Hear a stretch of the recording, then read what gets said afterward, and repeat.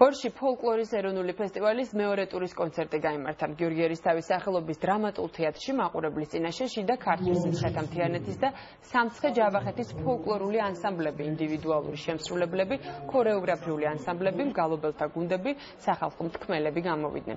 საქართველოს ფოლკლორის ეროვნული ფესტივალი საქართველოს კულტურის სამინისტროს მხარდაჭერითა და ფოლკლორის სახელმწიფო ცენტრის ორგანიზებით ჩატარდა.